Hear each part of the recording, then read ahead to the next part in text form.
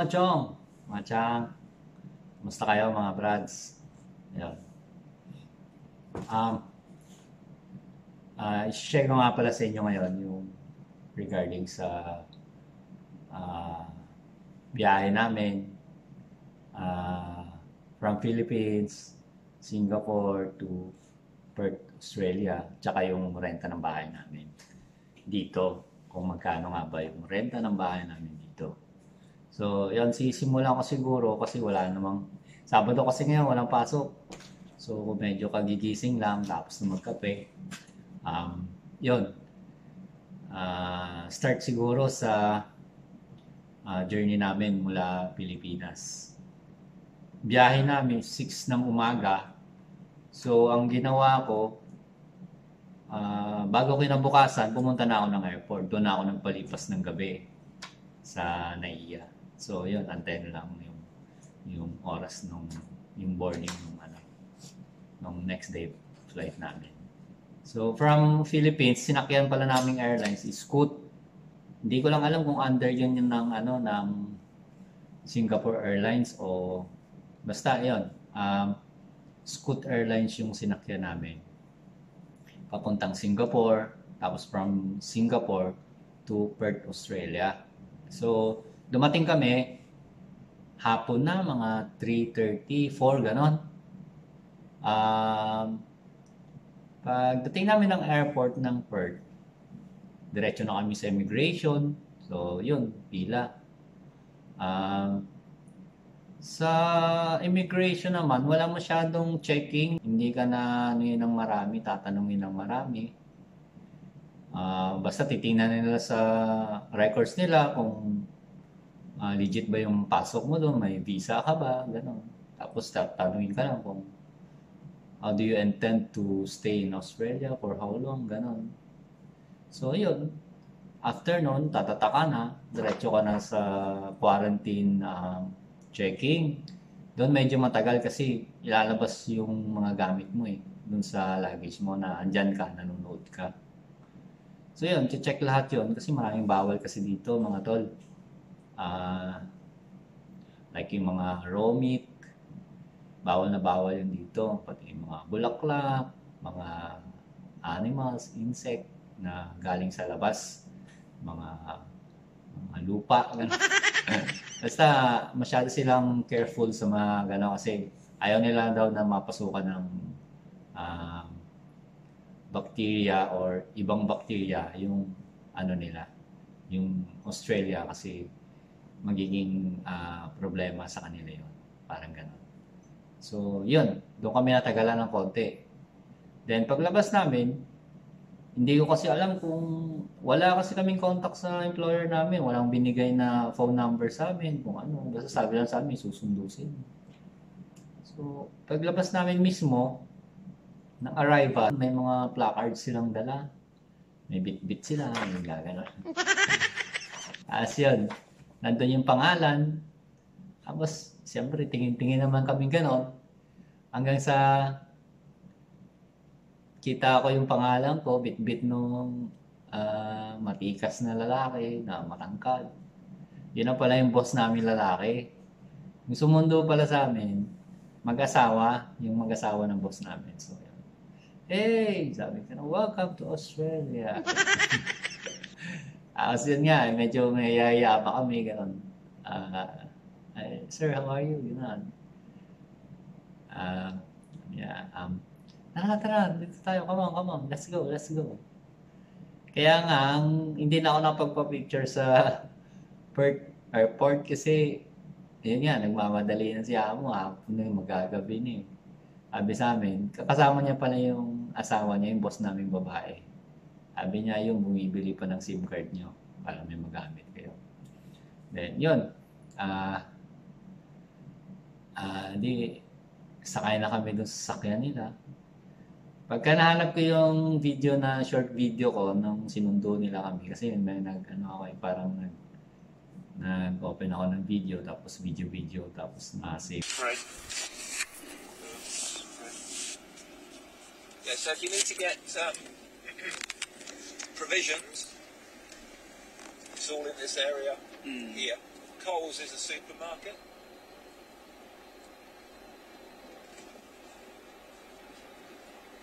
Mid Midland.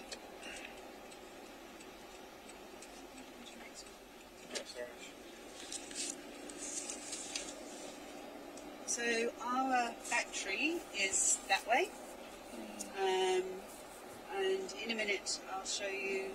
If you look over there, you can see the hills. Can you see um, see some hills in Yeah. the distance? So um, from Midland, we just go straight towards the hills, and we'll find our factory. Straight down this road here. Not too many hills.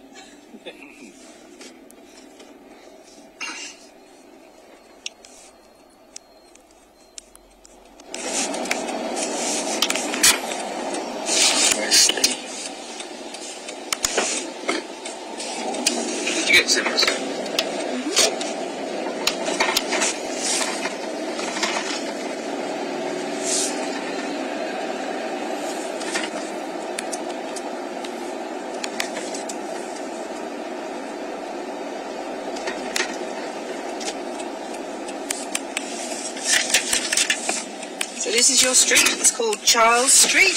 Charles. Two blocks. And then here. Pala doon yung conversation, something, ganyan.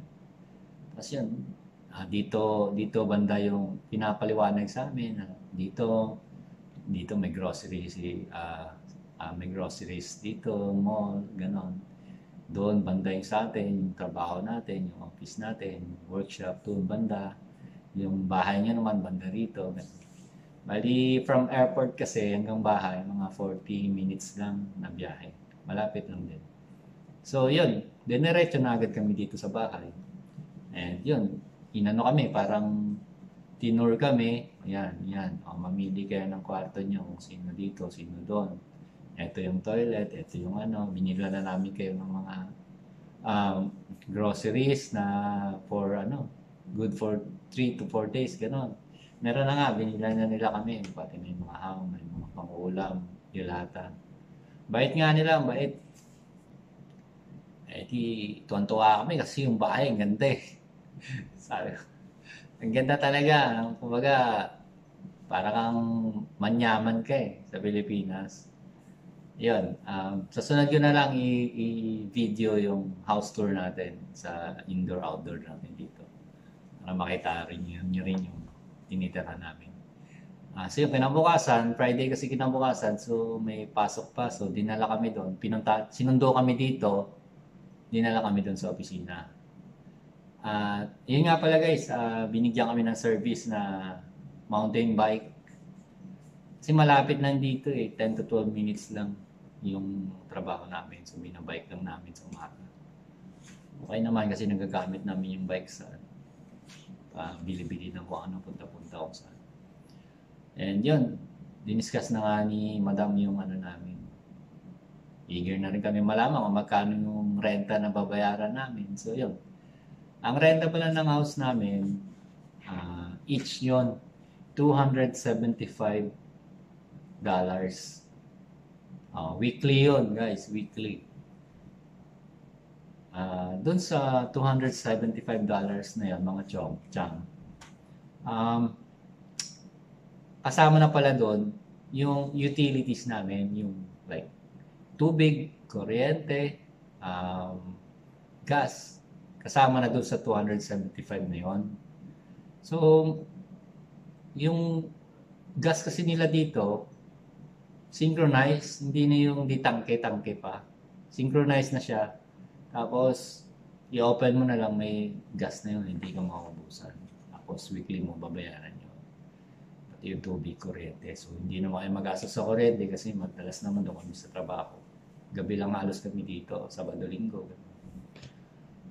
Ayun, um, on top of 275 plus, meron pa kasing ano kaming babayaran, meron kaming ah, fif- $40 a week na binabayaran para dun sa security and damage bond. sabihin security and damage, yung loob ng bahay at labas ng bahay. Pag may masira, halimbawa dito, mga lamesa, bangko, o TV, o ref, or kung ano pa mga gamit na masira, doon nila kukuhain ah, ang, ang expenses. And, halimbawa, may mawala, ganon. Kasi naka black and white lahat, naka-record lahat yung gamit na nandito pagdating namin. Tapos pinirmahan namin. So, ibig sabihin kami ang ang ang magbabayad nun pag may nawala o may nasira. Then, yun. Ah, besides doon, meron pang $10 para sa cleaning bond naman. Like, meron kasi ditong ah, sa kanila, meron kasi ditong 3 months or quarterly checking. May nagche-check dito na kung malinis ba yung bahay, loob at labas, yung kusina ba malinis, yung toilet ba, hindi ba na madumi dyan, gano'n. Kasi pag check na yan, tapos nakita nila na hindi naalagaan yung bahay, mag-hire sila ng tagalinis. Tapos, ah doon nila kukuhain yung pambayad dun sa tagalinis sa weekly naming binabayaran na $10. Oo. Iba pa yung sa damage, tsaka iba pa yung sa cleaning. So, another $50 naman yun. Ah, ano pa. Pero, ang nakasaad naman sa pinirmahan namin is kung okay naman yung bahay pag alis namin or like naglipat kami ng titirhan, okay naman yung bahay, ibabalik ng buo yung hinulog namin na yun. Kung kailan kami nagsimula, i-add yun, isasama up lahat yun, bibigay sa amin yung ah, pera na hinulog namin. So, ayos lang, parang ipon na din. Ayun. Ah, so, yun, weekly, kasama yung tax namin, may tax pa kasi guys, weekly. Oo. Tapos meron pa kaming binabayaran sa tools na binili namin. Bali, half-half kasi yun. Half sa company, half din sa amin. Kasama pa yun sa binabayaran namin. So, bahay, plus yung $50 ng mga bond, plus yung sa tools namin, plus yung um, yung tax. So, konti na lang yung natitira sa amin weekly. Pero ayos lang. Ah, babayaran pala namin yon hanggang sa matapos namin. Ay, meron pa pala guys. May binabayaran pa pala namin yung sa ticket namin tsaka yung sa visa namin na ah, sa migration agent na hinire nila para makakuha kami ng visa dito. So, marami as in madami talaga mga binabayaran kami. Pero after siguro 7 months, doon na kami makahinga ng maluwag kasi tapos na namin. Tsaka nga pala guys, may probationary period, 3 months. So since nga November kami dumating, so magti 3 months na kami. So siguro mga one of these days, a week, next week, baka kakausapin kami ng boss namin kung kamusta yung performance namin, okay ba kami, uh, masaya ba sila sa amin. So, yun, ah balitaan ko na lang kayo. Ah, yun, gando na lang muna. Ah, yung sa pagkain, sunod na vlog na lang para masaya. Um, meron tayong mga outdoor na na vlog. Nanday pa kasi yung in-order ko na action cam kasi ah, para stable yung video natin. So yun guys, sunod na lang. Kita-kita tayo ulit. Ingat kayo palagi. Palagi po tayong manalangin sa Panginoon para meron tayong agima. So guys, see you next time. Bye!